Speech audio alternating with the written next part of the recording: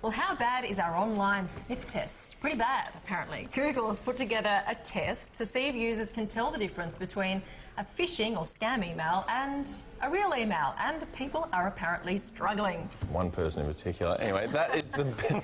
it's a big deal considering that the average user gets 16 malicious emails a month.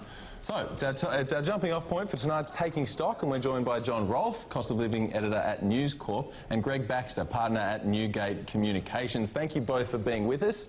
Uh, we've all done the quiz, cards on the table. How did we go, Greg? Six. Out of eight. Six out of eight.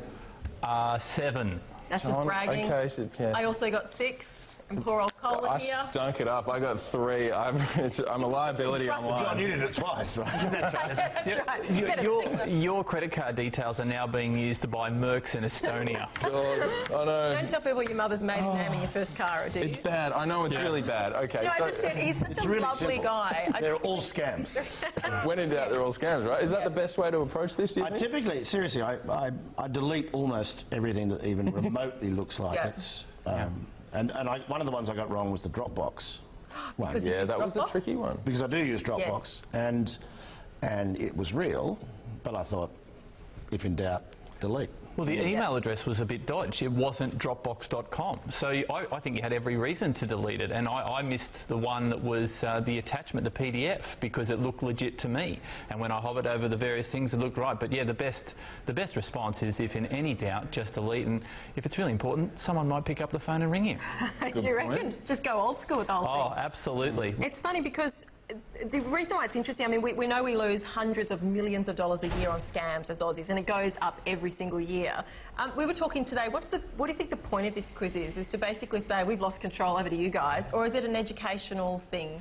To yeah, to say basically arm yourselves a bit better. It's uh, yeah, it's up to you. Do you It's it's well, I'm, I'm going to be very cynical. It's Google abdicating responsibility yet again. interesting.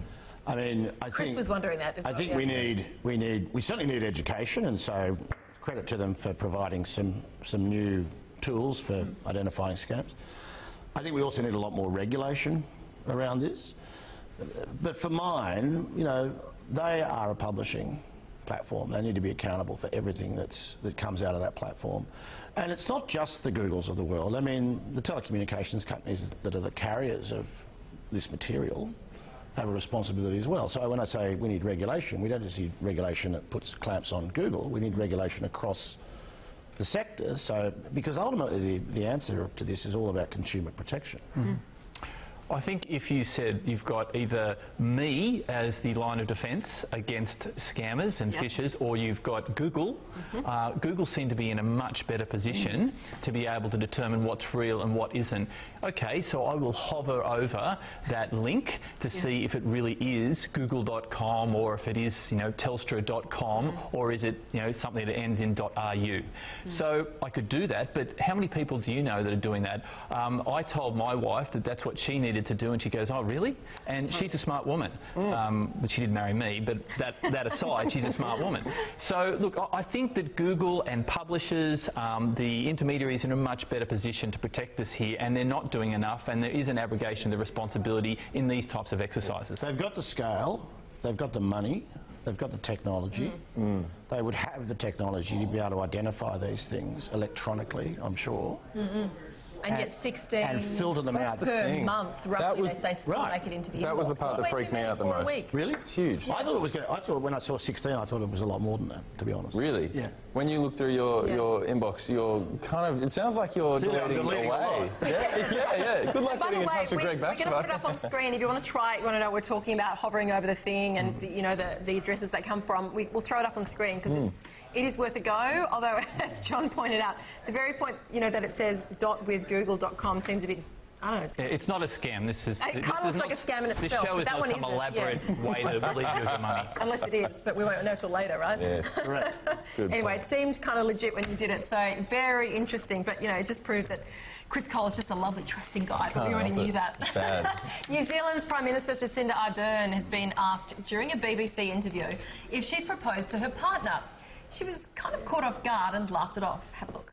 Can you imagine asking your partner, Clarke Gayford, to marry you?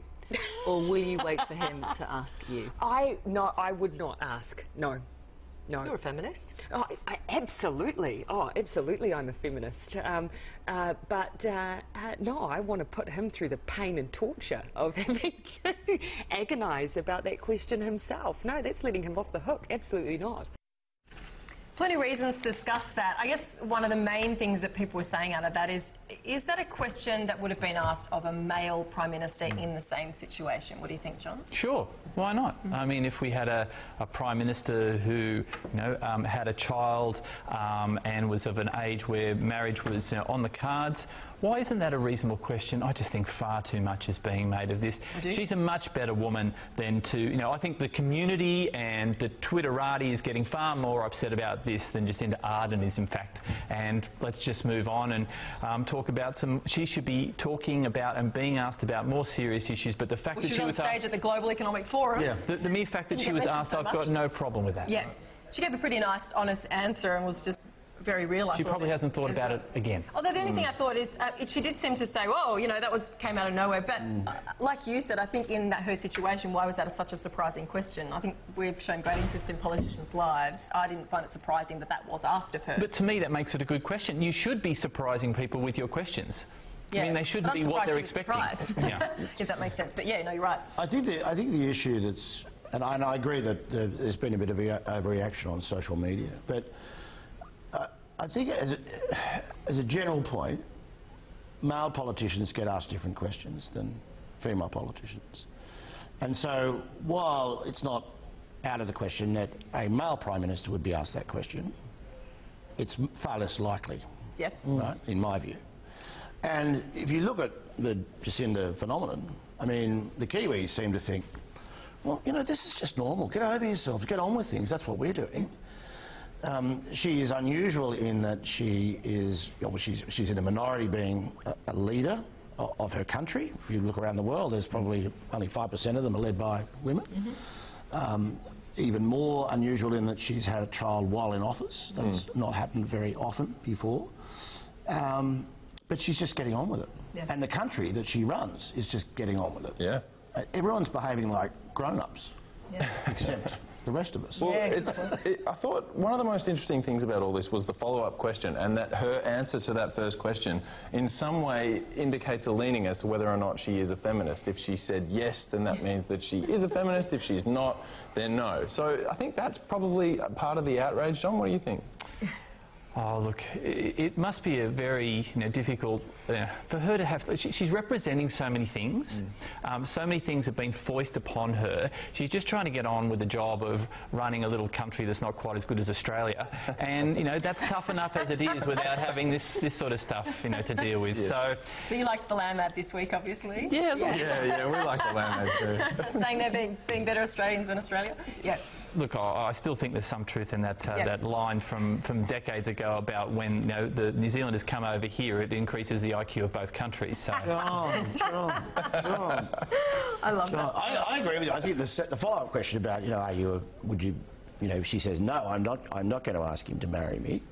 And then the follow-up question is, would you call yourself a feminist? I thought it was an ex- extraordinarily insulting. Yeah, I thought that was a question. in because very she's a many ways. 30-something-year-old um, female who's leading a whole country Yeah. and just had a baby. There was a there was Pretty sure a a, um, a profile, a big profile on her in the um, British Sunday Times on the weekend, um, under the headline "Jacinda Mania," and uh, uh, there's a great quote in there from her, and she she says, you know, I I um, I was always the only woman in the room, or often the only woman in the room at these meetings, and I would breastfeed um, the baby, um, and I, I, don't know what the men thought about that because. I didn't ask them, and they didn't tell me. And she didn't And I thought, good Yeah. for you. Very interesting. All right, KFC has released a limited edition can designed to waft rich, meaty goodness into your home. Breathe in the soothing aroma of KFC gravy. It's all gravy, baby.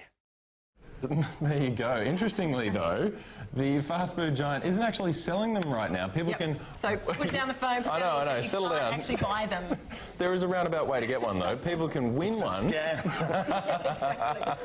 doesn't Well, it's interesting we put this at the end, yes. Um, so people can win one by handing over some data. Uh, so they, they enter the prize, they put in their name, their email, and they might actually end up winning one of these Yeah. gravy candles. So is this the weirdest exchange you've ever heard of? Some data for a gravy smelling candle? Are you into it? Like how badly do you want it? How badly do you want it? If it's a scam, it's not phishing, it's chickening. Yes, Ah, that's good. It's, I um, like it. It's just a funny. I mean, would you want your home to smell like a chicken shop? Well, apparently, I don't know this, but apparently there is something about that gravy which What the prompts. special ingredient? Well, Or it, apparently it induces some kind of fanaticism. Oh, so this is why it's supposedly highly covetable uh, as a as an, an item. Look, As whilst a candle, though, you then think, well, what would you use that for? Now, that, you know, an obvious thing is say, well, you know, a romantic night in. then I've got a problem with it's sort of, it's not on brand. Well, oh whilst for me, the, they could get my data by threatening to send me the candle. I think it's brilliant because I think it plays to their audience who are going, yeah, give me one of those. What information do you want to know? So I think it's great. It doesn't, you know, they won't get my information from it, but they'll get their audience's information from it. And Good it's not point. expensive. It's kind of cool. It's a bit different. I, I, I love it. There's only 230, so it's completely limited edition. Mm. Uh, you've got to get in first. It's only in the UK, so potentially marketing genius. And we're it- talking about it all the way in, I know, in Australia. exactly. um, but the other thing that it sparked in terms of discussion in our office is, is gravy the world's greatest condiment? Like, is that why people want that, that candle? No, No. What's the world's greatest condiment? hot Not English gravy. mustard. Hot English mustard. See that? You This can't is put that with everything, right? So you want to... Oh, really? I totally agree. Oh. Hot English mustard. Really? Had it on my lunch. So you'd like I'm a- going to have it on my dinner. Wow. For a steak. I might have it on breakfast. and you want it in your next candle? Yeah? Would you like your home to smell of Why hot not? English mustard? Why not? There you go. Okay, Brooke, what about you? Best Well, I- condiment in the world? Well, I was a bit out there because I just said maple syrup. I know it's not very versatile, but it is the best. None of you have gone for anything versatile. What about you? Yeah. Well, yeah, pretty weird. Perinaise, is anyone familiar with that? It's a Nando's product which is peri peri mayonnaise, and I Okay. am a bit of a bit yuck. Should I put it on everything. yourself. My, yeah, my So- is going to be going. Yeah, I can't believe you just told everyone that. candle. Someone else in studio wanted an aioli candle.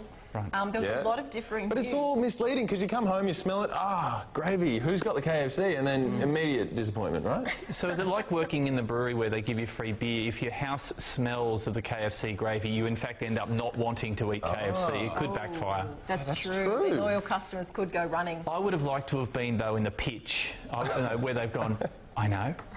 Let's let's try KFC gravy candles. Gravy candle. I, I think if you'd been in the pitch, they brought that in and you say, we've got to do this. Absolutely got to do this. Yeah. It's so out there. Guys, onto a good thing. But yeah, I know my husband would definitely say a chutney candle, and that's put him way out there for, you know, that is his favourite condiment. He just obsesses over it. So every, everyone has a favourite condiment. Just uh, reminded us today. It was quite a wide ranging discussion. Thank you so much. Great to talk. John and Greg, great to see you guys.